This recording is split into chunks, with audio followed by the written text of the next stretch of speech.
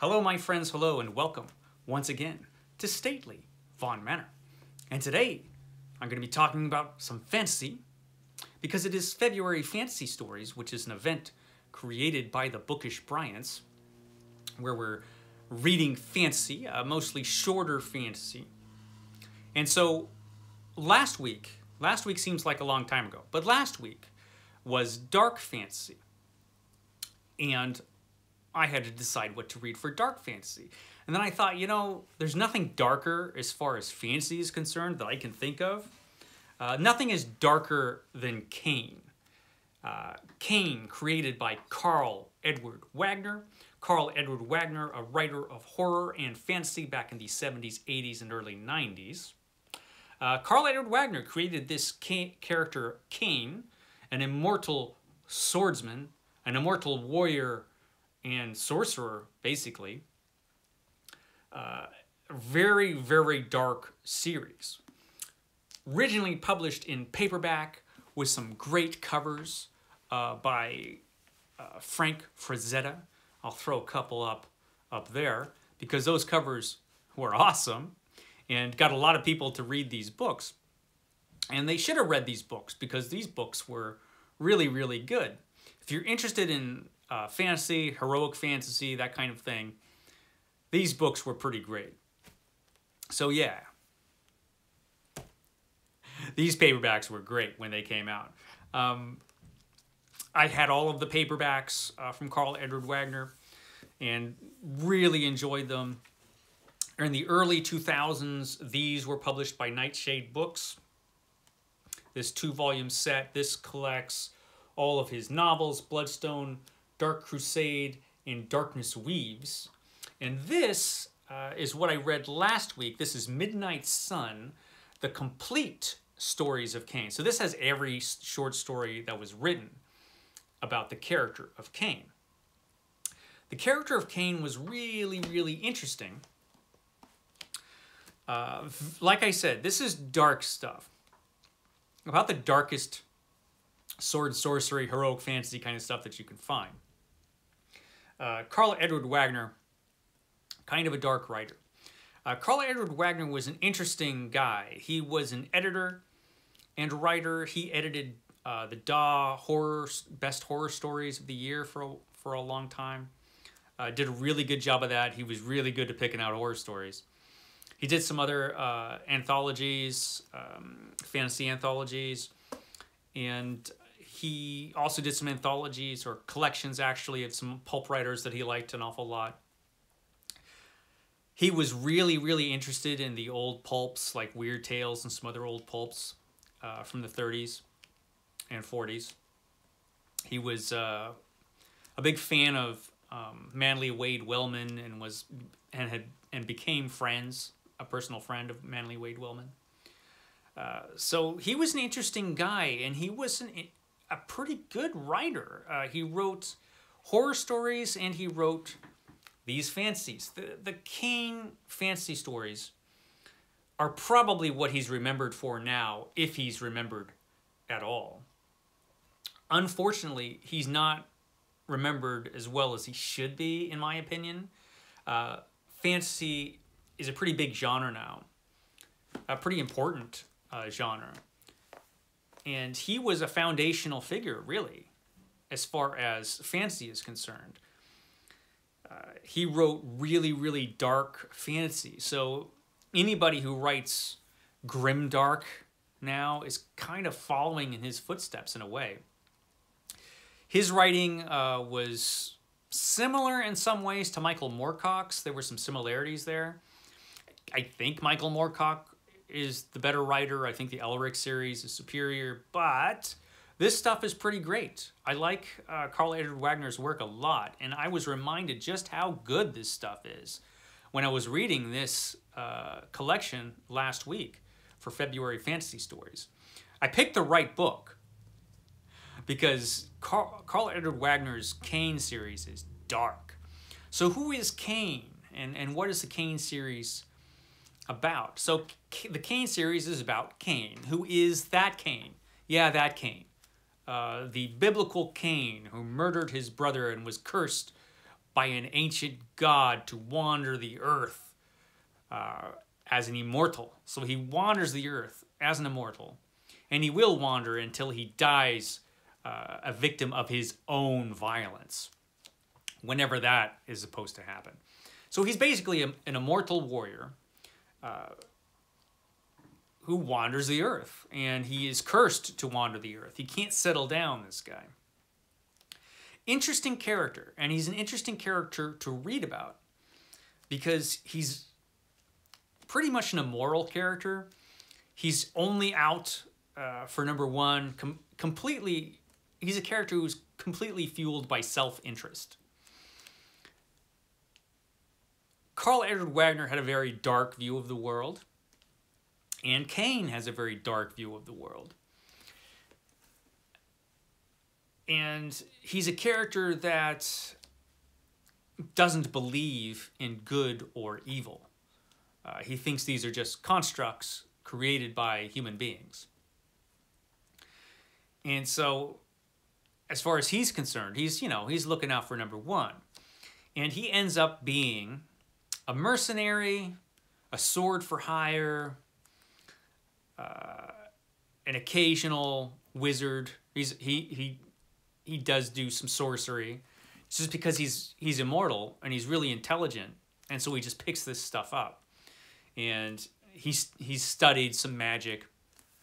So he's an immortal warrior, a, a swordsman who knows some sorcery, very very dangerous guy spends most of his time basically being a criminal, to be honest. A mercenary and a criminal. Not somebody you particularly want to hang out with. Definitely don't want to get on the wrong side of this guy because he's a killing machine. His business is death, Okay.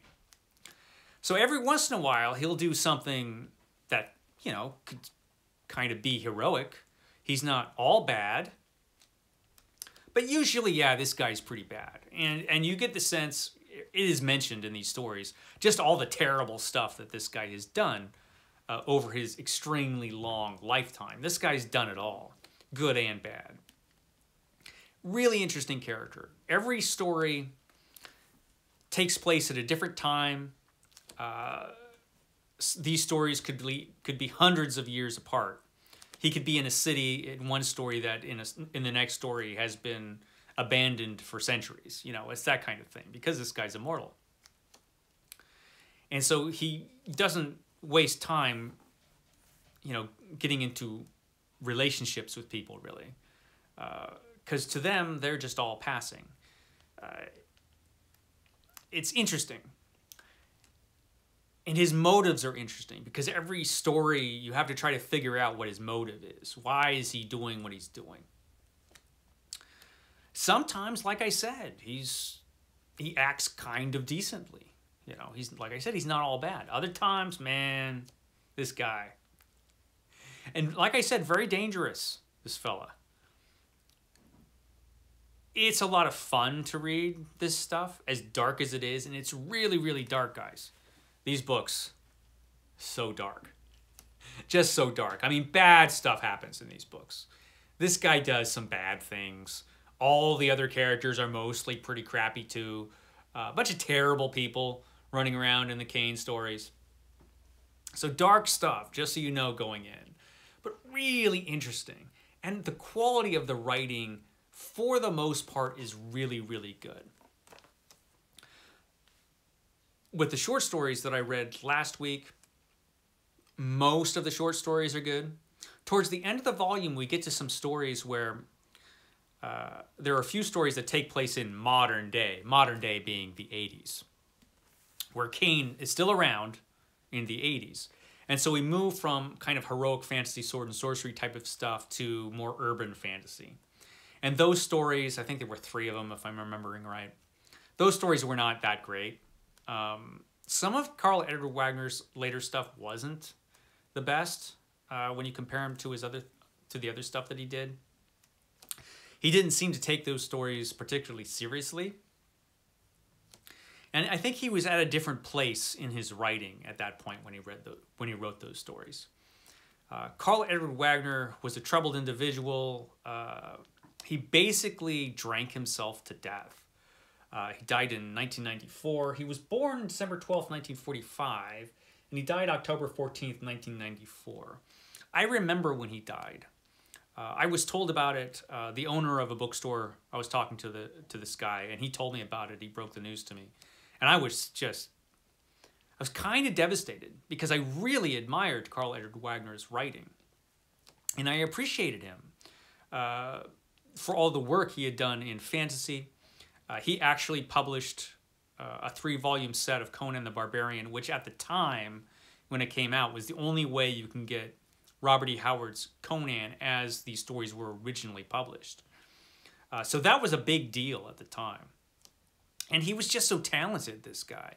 Uh, he was such a good horror writer and an excellent writer of dark fantasy. So I remember just how depressing that news was when I found out because he was not an old guy, you know, he was a younger man. And so that was a blow. Um, and his later writing probably wasn't as good as his stuff, the stuff that he was writing um, in the 70s and the 80s. Uh, and like I said, he died as a result of alcoholism. I think the official cause of death was uh, heart and liver failure due to his drinking. Um, so, really sad. He had a dark view of the world, much like Robert E. Howard did. If anything, it might have even been darker.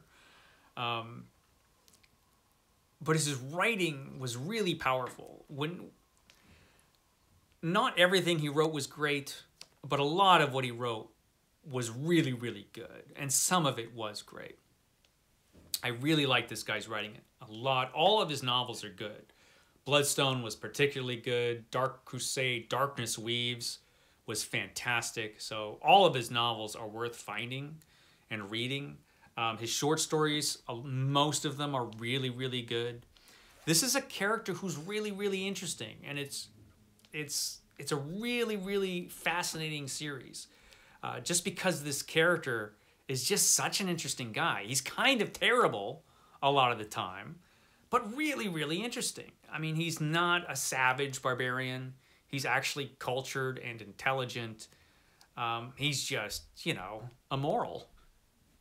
So it's interesting. He's he he was created by Karl Edward Wagner to be kind of a gothic hero villain type, the kind of villain you'd find in a gothic novel, who's evil, but you know, really, really interesting.